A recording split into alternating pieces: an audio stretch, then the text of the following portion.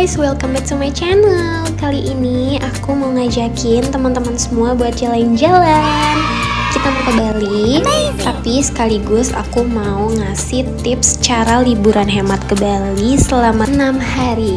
Dan kita mau ke mana aja Terus berapa perkiraan uang yang aku keluarkan selama di Bali Aku akan kasih tahu semuanya secara detail Tapi nanti di akhir video. Jadi ini video nanti ada beberapa part aku nggak bikin sekaligus banyak karena pasti akan terlalu kebanyakan gitu videonya. Nah jadi aku um, ke Bali itu dengan jalur darat. Pertama-tama aku ke Surabaya dulu naik kereta ini tepatnya aku naik dari stasiun Senen. Kenapa? Karena kalau dari Senen ini keberangkatan paling pertama itu adalah di pagi hari jam 8 dan kita tuh bisa menikmati uh, pemandangan kalau kita berangkatnya pagi. Soalnya kan bisa kelihatan sawah-sawah, pegunungan. Jadi itu perjalanannya lebih kerasa guys. Karena kita sambil ngelihat pemandangan. Nah, sekarang aku udah di stasiun Senen. Aku naik kereta Air Langga. Jadi kayaknya ini kereta baru. Karena yang aku tahu kalau yang berangkat pagi itu ada Dharma Wangsa tapi ternyata si Air Langga ini lebih murah guys. Nah ini kira-kira harganya totalnya ya aku bertiga. Karena Ray hitungannya itu sudah lebih dari 2 tahun jadi uh, dia sudah dikenakan biaya dewasa.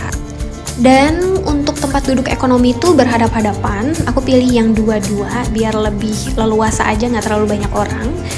Seperti ini kira-kira penampakan uh, kereta ekonomi ya. Ini bisa dibilang ya cukup menyenangkan ya karena ini pertama kalinya juga aku ngajak Ray pergi yang jauh tapi nggak naik pesawat gitu naik kereta. Dia happy banget karena banyak pemandangan yang bisa dilihat gitu. Walaupun selalu dia tanya bunda kok belum sampai-sampai? gitu. Nah ini kita ke Surabaya dulu ya guys. Karena uh, aku mau bermalam di rumah uh, ibu mertua aku. Nah ini udah sampai dan dia tidak mau bangun guys. Oke kita udah sampai Surabaya itu sekitar jam setengah delapan malam. Dan aku buat videonya sampai sini dulu. Jadi nanti akan ada part selanjutnya di mana perjalanan aku menuju uh, Banyuwangi menggunakan kereta juga. Di sini aku nginep semalaman di uh, Surabaya di Gresik lebih tepatnya.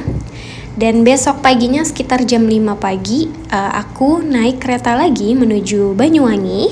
Dan setelah itu kita naik apa? Pokoknya tontonin videonya sampai habis sampai di part-part selanjutnya karena aku akan ngebahas uh, rekomendasi hotel, tempat makan dan tempat hiburan pastinya. Nah, buat teman-teman yang mau uh, ngikutin perjalanan yang sama kayak aku kayak gini, kalian bisa langsung uh, ke Surabaya Gubeng. Jadi nanti naik kereta ke Banyuwanginya itu bukan dari sini tapi dari Gubeng atau teman-teman boleh stay dulu di Surabaya cari penginapan di sekitaran sini.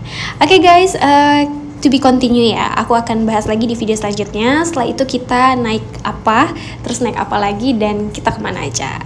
Oke, okay, thank you so much for watching. Jangan lupa like, comment, and subscribe. Bye-bye.